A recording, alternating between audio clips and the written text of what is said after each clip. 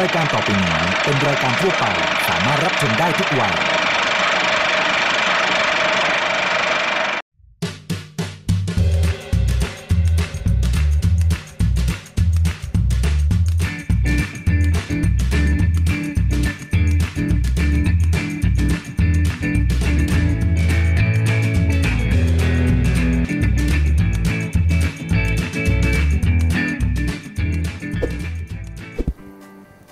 สวัสดีครับ พบกับรายการอดเปรี้ยวกินหวานนะครับ รายการสำหรับสายหวานทุกคนนะครับ ที่จะมีเมนูเก๋ๆเมนูอร่อยๆ ในสไตล์ของอาจารย์ยิ่งศักดิ์มาฝากกันครับ แน่นอนนะฮะวันนี้เราจะมาเพิ่มความหวานนะครับ ด้วยดอกกุหลาบนะครับ ที่จะเป็นสัญลักษณ์ของความรักนะฮะจะเอามาทำเมนูเครื่องดื่มเก๋ๆนะครับกับเมนูกุหลาบโมชิโต้ครับ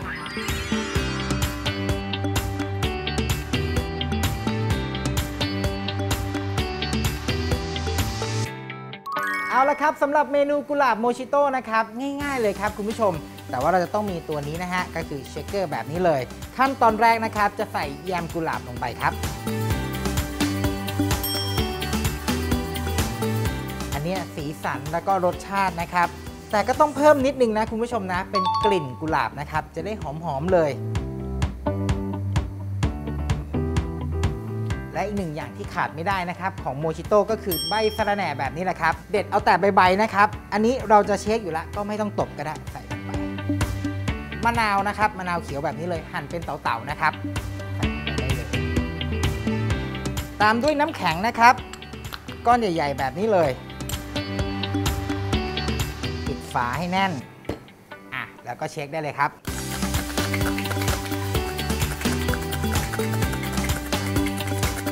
เวลาเราเช็คก็ให้น้ำแข็งเนี่ยรู้สึกว่าไปจากก้นไปข้างบนนะครับเขาจะได้ทำความเย็นได้ พอเข้ากันดีแบบนี้ฟังเสียงแล้วโอ้โห มันทั่วถึงแน่นอน จับปุ๊บเย็นเฉียบแบบนี้ พร้อมเสิร์ฟครับ เอาละครับ ขั้นตอนการเสิร์ฟนะครับง่าย ๆเลยนะฮะเราก็จะมีน้ำแข็งมาแบบนี้ ตักน้ำแข็งนะครับ ใส่ลงไปในแก้วเลยครับ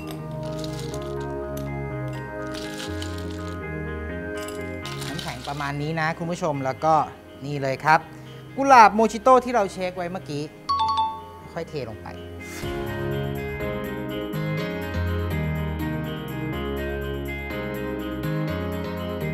ตามด้วยโซดานะครับ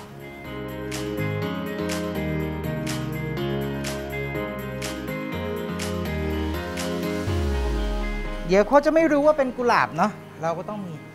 กุหลาบหนึ่งช่อสวยๆแบบนี้นะครับ แล้วก็เพิ่มความเป็นโมชิโต้นะฮะ กระแหน่หนึ่งก้านแบบนี้ แล้วก็มะนาวเขียวนะครับเผื่อว่าใครอยากได้ความเปรี้ยวเพิ่ม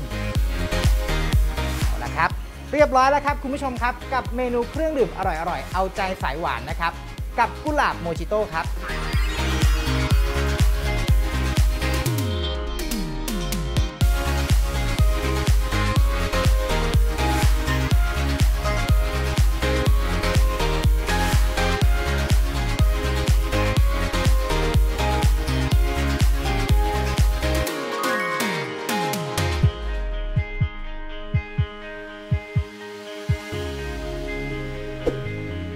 และช่วงหน้านะครับ ใครที่กำลังอินกับข้าวเหนียวมะม่วงอยู่เนี่ยแหมห้ามพลาดนะฮะ เพราะว่าอาจารย์ยิ่งศักดิ์มีเมนูข้าวเหนียวมาฝากเหมือนกันนะครับ นั่นก็คือเมนูข้าวเหนียวดำมูลกับแกงบวชมะม่วงครับ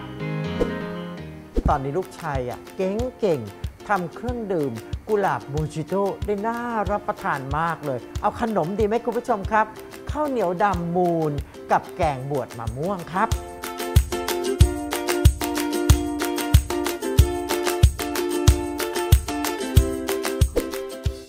ร่อยกับผลิตภัณฑ์ TFM วันนี้เรามีเมนูเค้กผลไม้สดมาฝากกันค่ะ ใส่แป้งเค้กกราริบบิ้นลงในภาชนะ ตามด้วยนมผง ผงฟู วานิลาชนิดผง และเกลือป่นเสริมไอโอดีน เคล้าให้เข้ากันเตรียมไว้ ใส่เนยสดชนิดเค็มลงในอ่างตี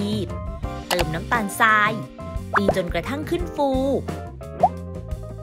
เติมไข่ไก่ทีละฟองจนครบ ตีผสมจนเข้ากัน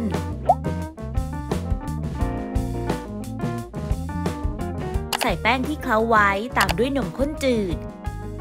ตีส่วนผสมจนเป็นเนื้อเดียวกันแล้วปิดเครื่อง ตักส่วนผสมที่ได้ลงในพิมพ์ที่เตรียมไว้ประมาณ2ส่วน3ของพิมพ์ เกลี่ยหน้าให้เรียบ เรียงชิ้นผลไม้ด้านบนสลับกันให้สวยงาม อบจนกระทั่งสุกทานหน้าด้วยแยมใส ตัดเป็นชิ้นพร้อมเสิร์ฟค่ะ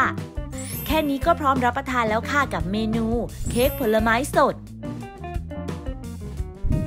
แค่มีผลิตภัณฑ์ TFM ติดครัว ก็อร่อยกันได้แล้วละค่ะ